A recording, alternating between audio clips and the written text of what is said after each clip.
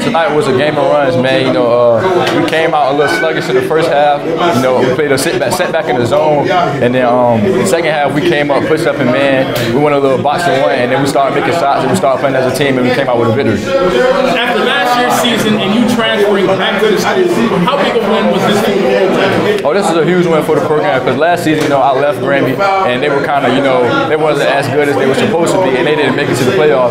And I know this is huge for Coach Mike. Uh, he wanted the first round win forever. Uh, I've been playing under him since freshman year. This is my first first round uh, playoff win, so it's a big one. What kind of win does this you guys heading into the next round? Uh, we just gotta stay. We gotta stay uh, humble, man. Uh, it go.